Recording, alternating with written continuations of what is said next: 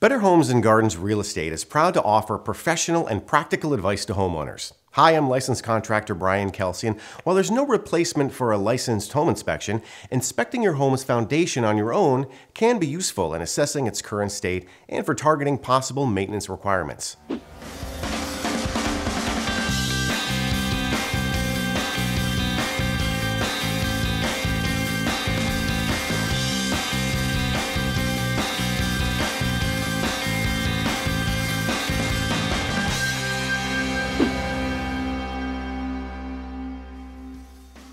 Now, homeowners should inspect their foundations at least twice a year, especially in areas prone to natural forces such as earthquakes or after severe rain.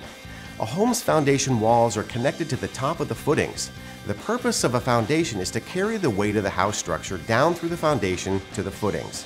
Whether concrete, brick, or concrete blocks, foundation walls crack because of settling, lateral force, uneven loads, and heaving of the foundation walls. Grab a pencil and a pad so that you can write down your observations. Make notes of cracks in their specific locations because once you inspect the exterior of your foundation, you'll want to try and locate these cracks on the inside. If the crack goes entirely through the foundation, it may be a red flag. Small hairline cracks that do not go through the foundation wall are common and of no concern. They were likely caused by shrinkage of the mortar joints or concrete. A geotechnical engineer may be required to determine the severity of a crack and its cause. By inspecting your foundation twice a year and making any necessary repairs, you can rest assured your house has legs to stand on.